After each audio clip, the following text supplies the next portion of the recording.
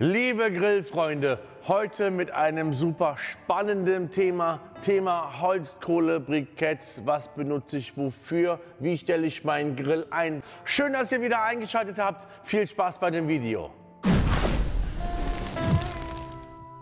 Kommen wir generell zum Thema Holzkohle. Holzkohle wird in einem aufwendigen Prozess hergestellt und gehört nach wie vor zu den beliebtesten Grillarten bei uns in Deutschland. Holzbriketts, die werden gepresst, meist mit einem Bindemittel noch dabei, einfach damit das hier in dieser Eierform meistens ist. Und bei Holzkohle, das ist einfach schimmrig, bläulich, leicht, hört sich gut an, grobe Stücke. Wichtig, Holzkohle wird deutlich heißer, brennt schneller runter. Briketts für Longjob sehr, sehr gut geeignet.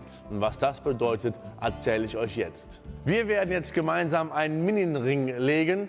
Bitte was? Minienring? Genau richtig, so heißt das. Und zwar werden wir eine Schnecke quasi legen, damit wir bei 105, 110 Grad entspannt unser Brisket, Pulled Pork oder Spare Ribs grillen können. Worauf zu achten ist, zeige ich euch jetzt. Wir legen jetzt die Briketts so aneinander in den Grill rein, ungefähr drei Viertel lang. Und das ist jetzt einfach nur eine Fleißarbeit. So sieht ein perfekter Minienring aus. Jetzt können wir 5, 6 Briketts in so einem Kaminanzünder und mit solchen Baumwollmopeds hier einfach durchglühend anzünden.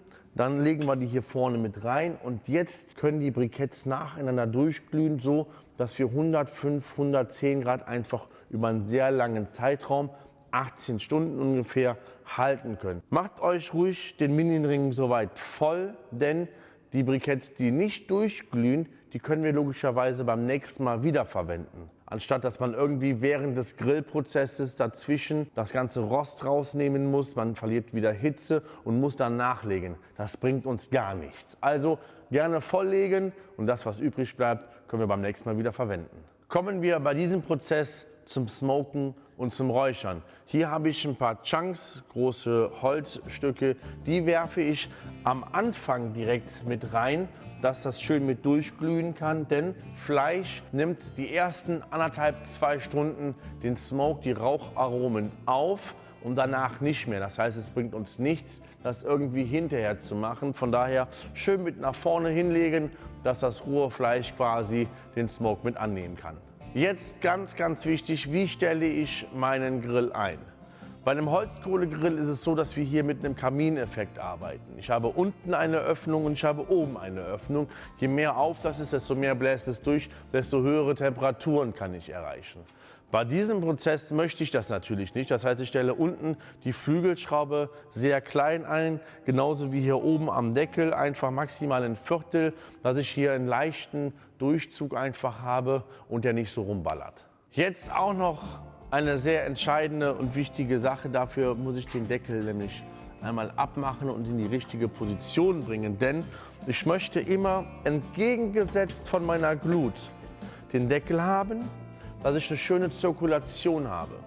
Ist die Öffnung vorne bei den Briketts, zieht er mir wieder zu viel Luft an der Stelle, wird zu heiß und ich kann den Grill nicht mehr sauber regulieren.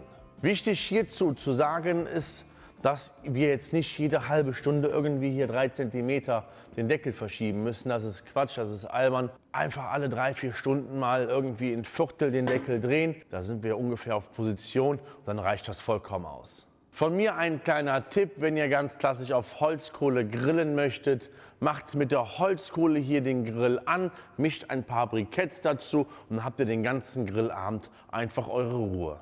Kommen wir zum Anzünden eines Holzkohlegrills. Es gibt immer einige Spezialisten, die irgendwie mit Ethanol die Holzkohle tränken, anzünden dann pufft es einmal auf irgendwie, man hat das Gefühl, es passiert dann doch nichts, dann jagt man da noch eine Flasche drauf, das ist nichts. Das wollen wir nicht haben, das ist einfach schädlich, genauso wie irgendwie diese weißen Brühwürfelanzünder, auch die bitte einfach weglassen. Nehmt euch hier so Bio-Anzünder, nehmt euch einen Anzündkamin, haut ein paar Briketts rein, es glüht schön durch, halbe, dreiviertel Stunde, dann können wir das in unseren Grill reinschmeißen, Holzkohle drauf und dann einfach ganz entspannt losgrillen. Das war das zu dem Thema Minienring, Holzkohlegrill. Wir haben über die Chunks gesprochen, das Smoken bzw. Räuchern im Holzkohlegrill. Kommen wir jetzt ganz, ganz kurz zum Gasgrill. Wie kann ich da ein bisschen smoken? Ganz einfach. Man nimmt hier eine Räucherbox. Auch die haben wir in unterschiedlichen Formen einfach da entweder formbar als solches für das Flammenblech oder schon fertig gewählt für passende Flammenbleche. Ich mache einfach die Klappen auf, hau hier drei Viertel Chips rein. Die sind deutlich feiner als die Chunks. Wir sehen es, können wir wässern oder nicht. Dann lege ich es einfach auf das Flammenblech, mache den Grill an und bekomme leichte Smoke-Nuancen an die Produkte. Das waren ein paar knackige Tipps von mir an euch, wo das Thema Holzkohle und Briketts einfach mal im Vordergrund gestanden hat.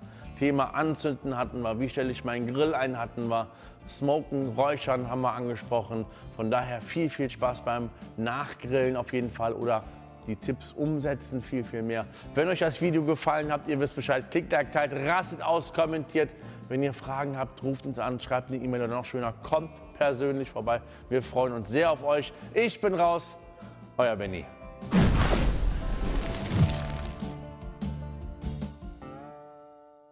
Ich hoffe, ihr hattet Spaß bei dem Video und konntet ein paar wichtige nochmal neu. Das war